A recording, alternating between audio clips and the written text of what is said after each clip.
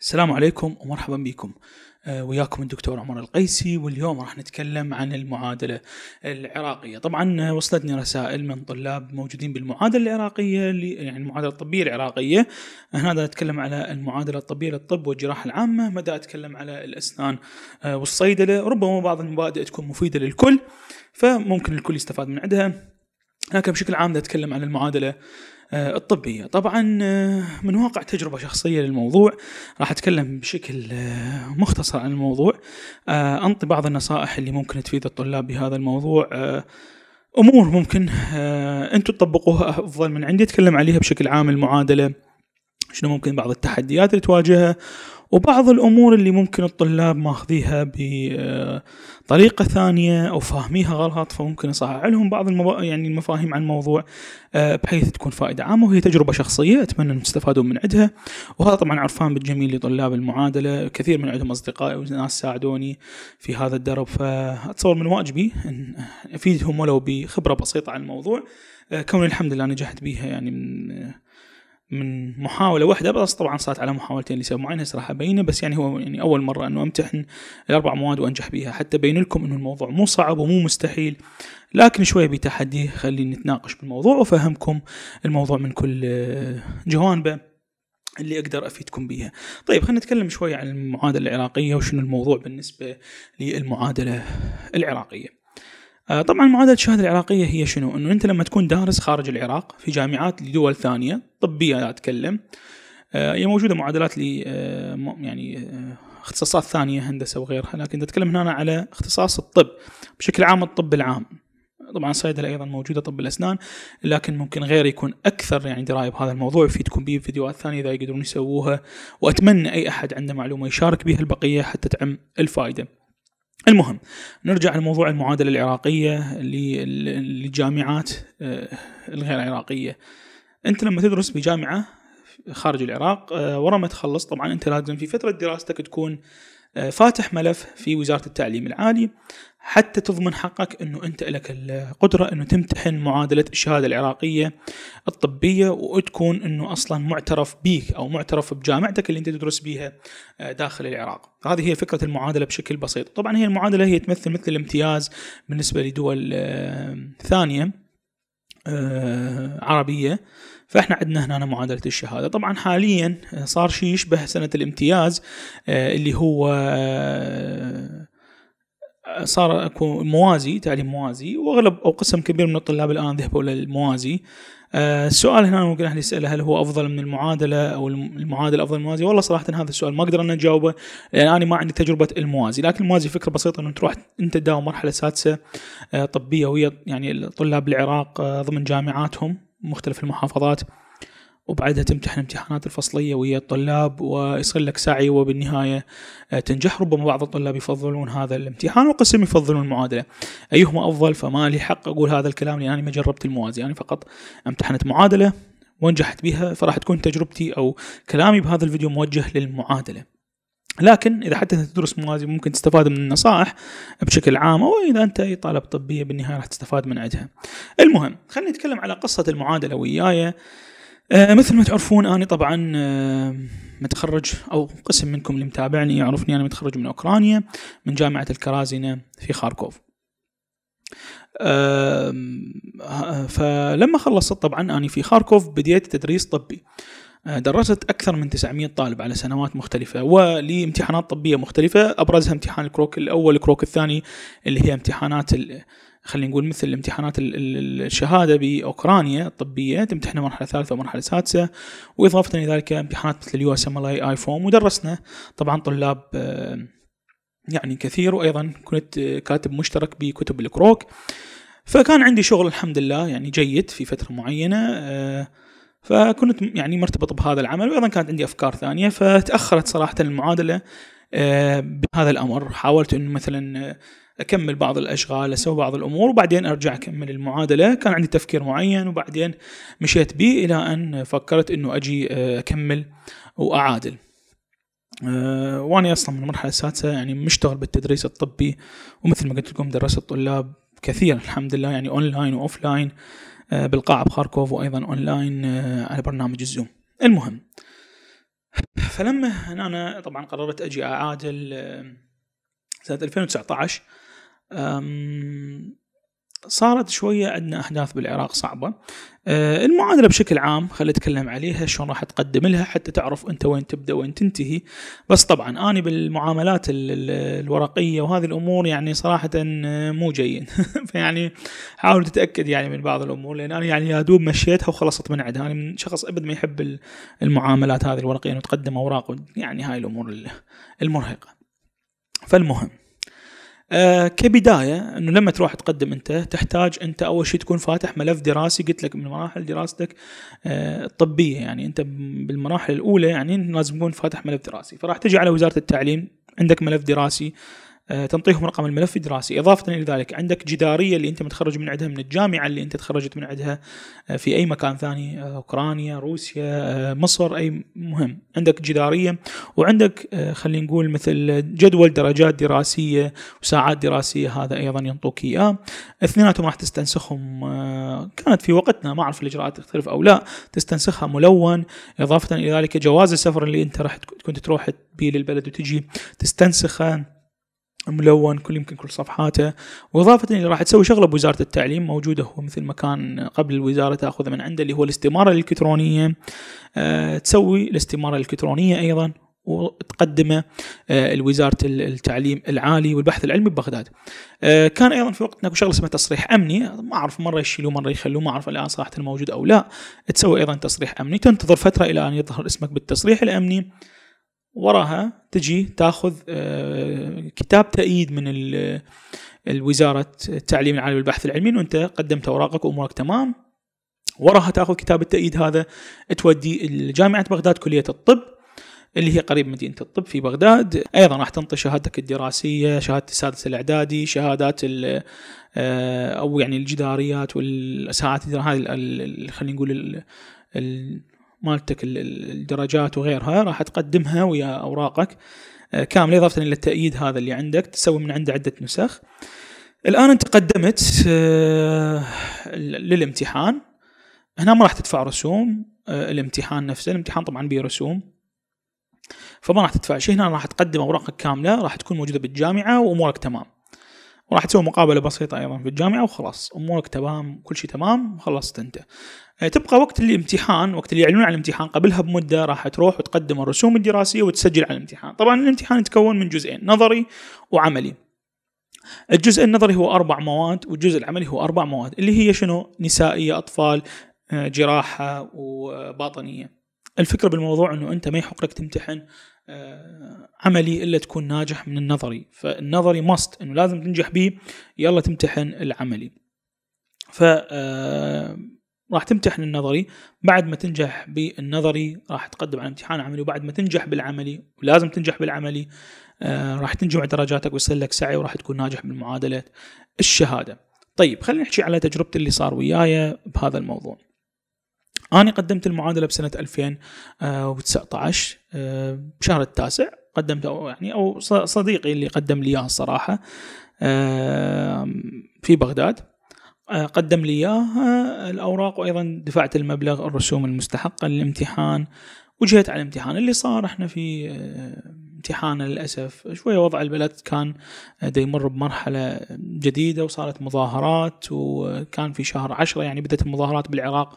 فجيت أنا ويا هذه المظاهرات. فاللي صار شنو؟ الامتحان تأجل عدة مرات وبالنهاية صار في نهاية شهر تقريبا نهاية شهر 11 والمشكلة إنه أيضا آه، صارت تأجيلات كثيرة لهذا الامتحان.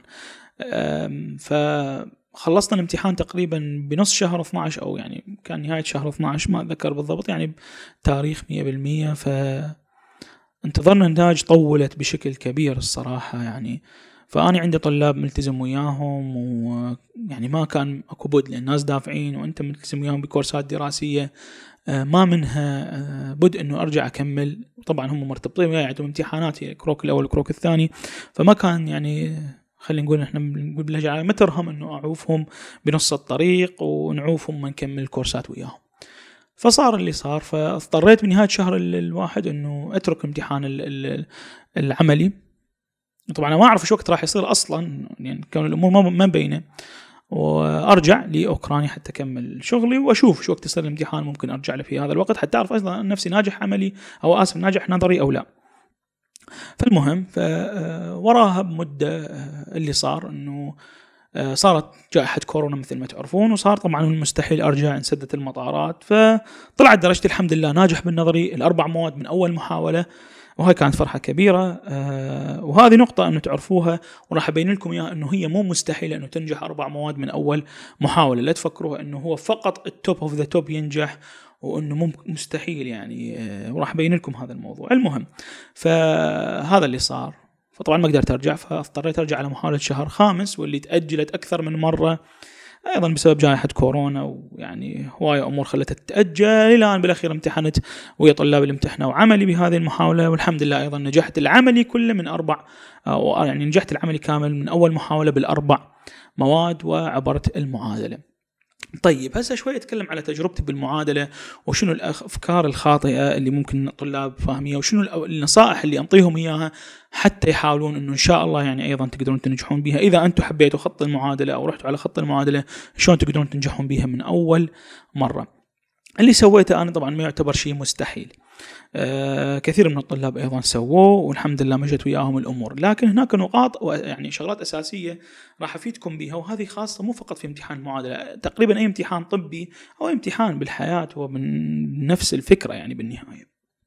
اللي هي النقطة أو النصيحة الأولى آه شوف الطلاب اللي قبلك امتحنوا الامتحان وأخذ خبرتهم آه يشرفني أكو طلاب كنت بيوم من الأيام ممكن درستهم وكنت أستاذ لهم ولما جيت للمعادلة صاروا هم أساتذتي. يعني هذا الشيء شرفني صراحة إنه شفت طلاب اشتغلت على نفسها تعبت فهمت الامتحان فهمت آلة الامتحان درسوا وتعبوا استفاديت من خبرتهم مو عيب إنه تاخذ المعلومات من غيرك مو عيب إنه تسأل غيرك المشكلة إنه بعض الطلاب للأسف يعني اقولها إنه يصير به نوع من الغرور إنه ما يسأل أحد ويجي يعني مباشرة يقفز بالامتحان من دون أي خلفية حول الموضوع بحيث ما عنده أي فكرة.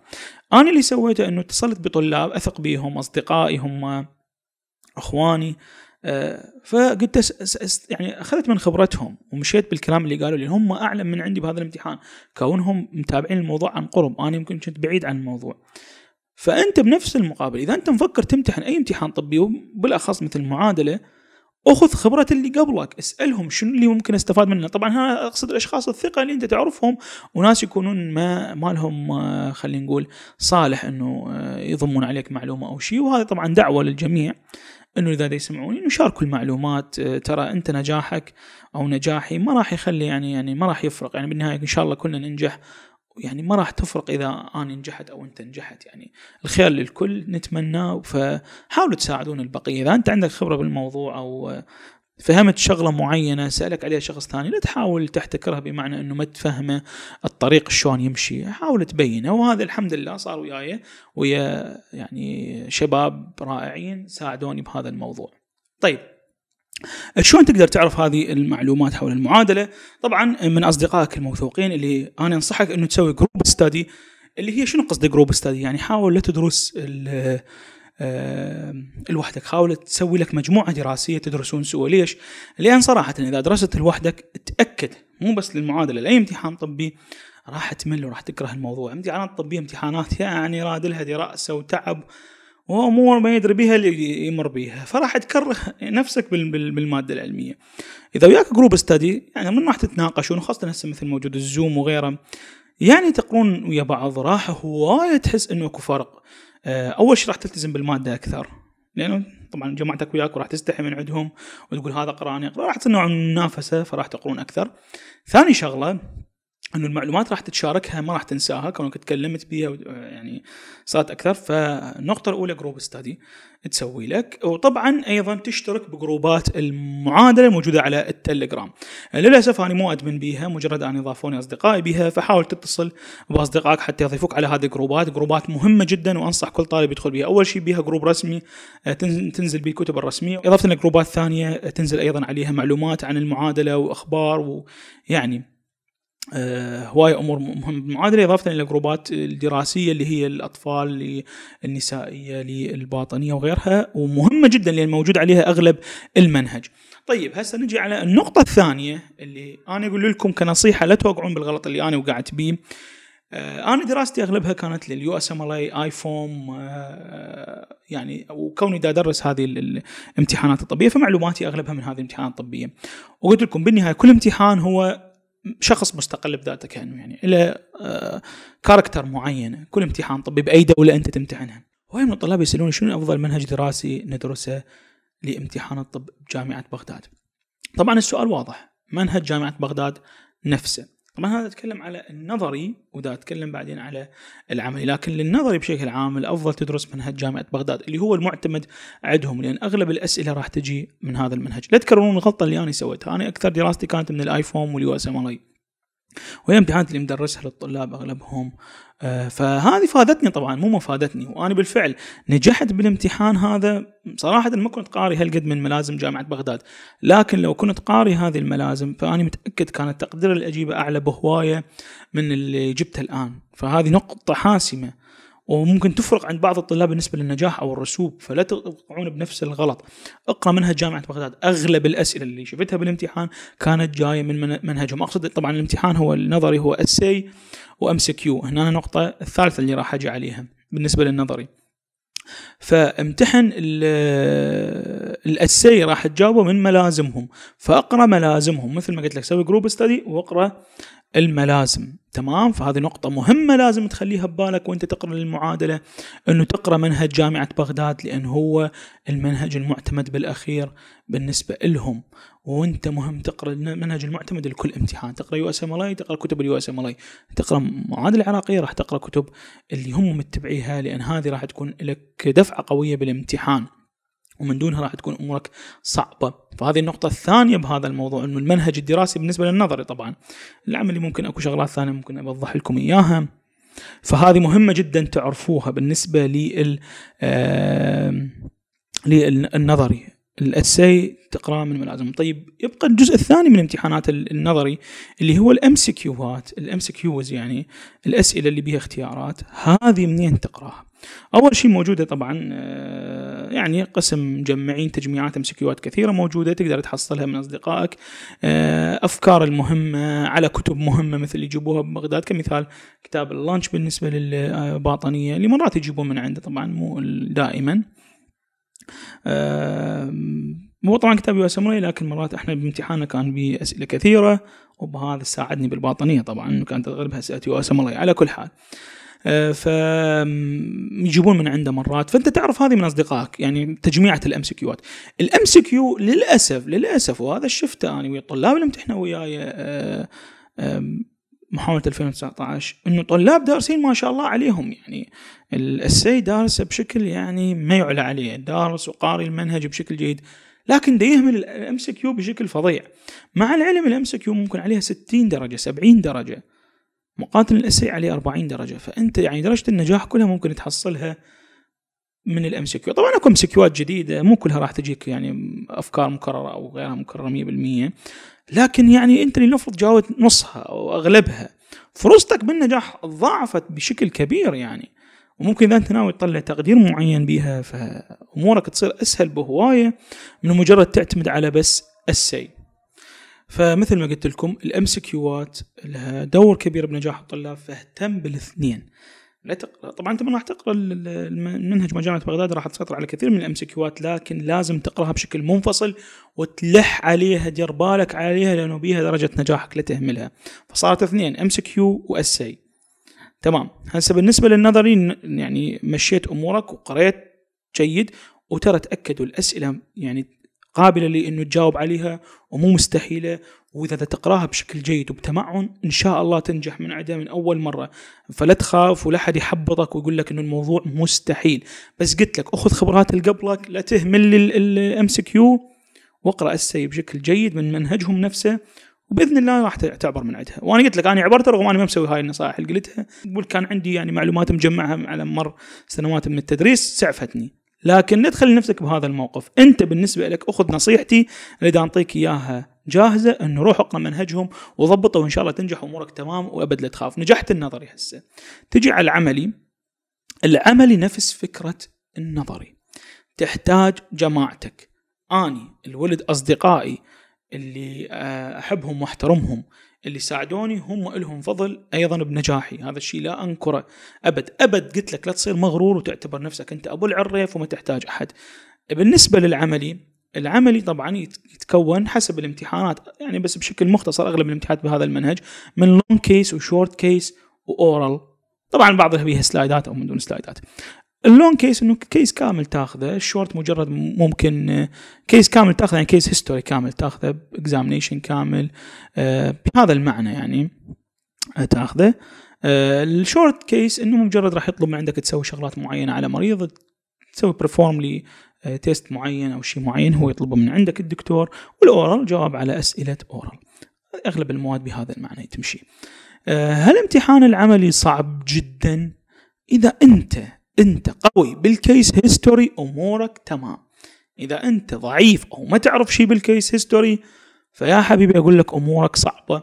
بامتحان العملي. العملي أصعب به شيء إنه تضبط لأن ال long case ترى هي تنجحك بالأخير تقريبا أغلب الدرجة عليها إذا ضبطت الأمور بال long case أمورك تمام.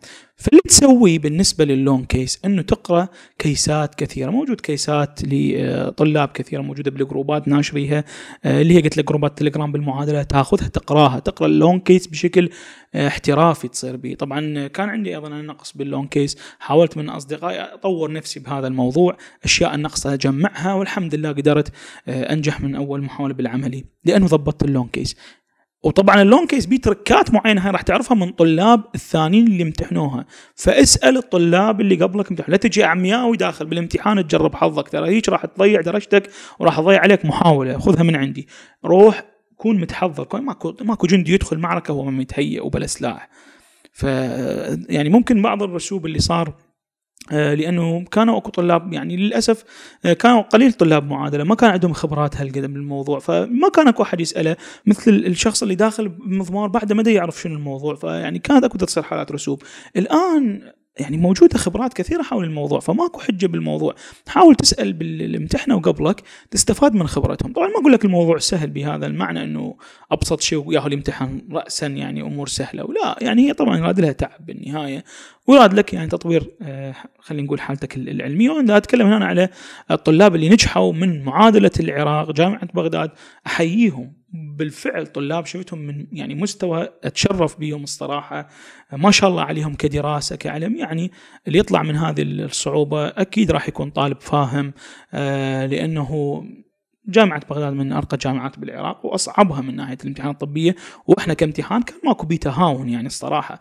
امتحان كان على مستوى تحدي كبير للطلاب. أنت تقرأ أربع سنوات طبية ممكن هو يقرأها يعني أو طالب يقرأها مثلا كل سنة. سنتها أنت راح تجمعها كلها مع بعض باكج واحد راح تمتحنها. فهو مو مستحيل لكنه بيه صعوبة شوية. بالنسبة للعملي ضبط ال case history إذا ضبطت ال case history وعرفت تأخذ case history محترم بحيث تعرف إلقائك يكون مضبوط آه، طريقة تعاملك آه، ويا المريض تكون صحيح تعرف تأخذ المعلومات صحيح تعرف وين تبدأ وين تنتهي مو كلام عشوائي ما بي أي معنى بالنهاية المتلقي ما راح يفتهم شيء من عندك. إذا ضبطت ال case history هو راح يكون مفتاح نجاحك بالعملي. الشورت طبعا سهل تتعلمه ويا جماعتك. وليش قلت لك سوي group study يعني روح أنت قبل الامتحان أنا بالنسبة رحت قبل الامتحان بأسبوع أسبوعين بهذا المعنى. كان مجرد إنه ويا يعني الطلاب كنا بفندق يعني أغلبنا آه، فكنت أروح ويا الطلاب يعني واحد يطبق على الثاني. فهذا الشيء أنتم سووه نفسكم إذا تسمعوني الآن. حاولوا ويا جماعتك تروح تطبق ويا يعني واحد على الثاني تسوون الفحوصات المطلوبة من عندكم تراجعون المنهج بالنسبة للعملي وهذا الشيء راح يفيدك هواية بالنسبة للعملي لأنه هذه هي خطة العمل الصحيحة أنه لازم أنت تكون مطبق. وإذا تقدر تروح مستشفى وتتعلم وعندك أحد يعلمك خاصة إذا قدرت تطبق بمدينة الطب أو تروح تتعلم بمدينة الطب اللي هي راح يصير امتحانك بيها بالنهاية فتاكد 100% أمورك راح تصير سهلة بالعملي. العملي كل ما تكون أنت كاتب case history أكثر كل ما تكون متعرف تقدر تسوي short examination يعني short case سهل لك تسوي examination سريع للمريض آه، طريقتك صحيحة بالتعامل مع المريض. طبعا ال oral يبقى هو أنت قارئ من النظري بالنهاية. آه، ماكو معلومات جديدة كلش بالعملي راح تجيك لكن ضبط يعني مصنعية العملي هو أنت صنايعي عملي. تمام؟ فضبط هذا الموضوع. وطبعا هنا أنا أيضا آه، أكو شغلات أيضا تفيدك. أكو بعض الدكاترة المشكورين حاطين أيضا محاضرات على اليوتيوب. راح أخلي قنواتهم بال link الموجود بال description بهذا الفيديو. راح تستفاد من عنده طبعا إذا أنت تتابعني على الفيسبوك آه، فتابعني على اليوتيوب حتى تلقى ال link لأنه ما أقدر أخليه بالفيسبوك. آه، خليته باليوتيوب. فإذا تشوفه من الفيسبوك روح على قناتي باليوتيوب اسم عمر القيتي. راح تلقى حاط link اللينكات القنوات اللي استفاديت من عندها شخصيا. مثل دكتور علي حسيب وغيرهم. الصراحة لهم كل الشكر آه، على هذه المحاضرات الرائعة اللي خليها باليوتيوب وممكن الناس تستفاد منها. وأنا استفادت من عندها شخصيا. فأكو عندك يعني خيار موجود. تاخذ الجانب ال theory من العملي بشكل سلس موجود باليوتيوب من قنوات طبية محترمة تستفاد من عندها وبالمقابل طبعا يبقى عليك أنت أيضا جانب الدراسة من كتب آه، كثيرة موجودة ومتوفرة من تكون موجودة على بالتليجرام تقدر تحصلها مباشرة من التليجرام آه، الخاص بها الكتب المعتمدة يعني كعملي بجامعة بغداد. فهذا بالنسبة للنظري والعملي. بعد ما تكون خلصتها تكون نجحت إن شاء الله بإذن الله وبعدها تقدم أوراقك. طبعا الجامعة تقدمها لوزارة التعليم. وزارة التعليم أتصور بعدين تقدمها لوزارة الصحة وتبدأ تبلش بعملك بالعراق إذا أنت حاب تكمل كعمل بالعراق. آه، فهذا بالنسبة لي آه، طيب هنا بقت أيضا نقطة أخيرة أحب أنوه عليها.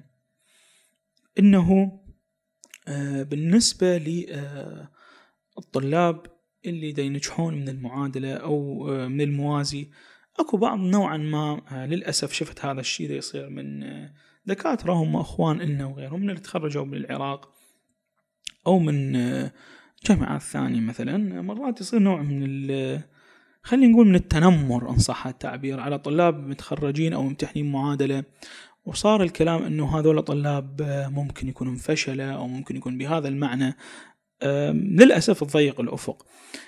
بالنهاية أنت ما تقدر تقيم طالب لأنه مجموعة من الطلاب كانوا سيئين جو من هذا البلد. آه، ما تقدر تقيم طالب. يعني كل جامعة بالنهاية أكو طلاب وأنت من دفعتك الآن إذا تسمعني طالب يعني آه، وين مداهم من دفعتك أكو ناس تقرأ وناس تعبانة وناس بالأخير ما درست فهل تلمهم كلهم سلة واحدة وتقول الكل فشلة لأنه أنت عندك نظرة معينة مسبقة لناس درسوا مكان معين؟ آه، كل واحد حسب فرصته بالحياة حصل دراسة في مكان معين. أنا من الناس حتى بس يعني هذه النقطة شوية أنوه عليها لأن للأسف آه، يصير لغط عليها ومرات ناس ينظرون نظرة سيئة لناس عندهم طموح أنه يقرون طبية رغم أنه ما طلعوا المعدل اللي يأهلهم بالمرحلة السادسة.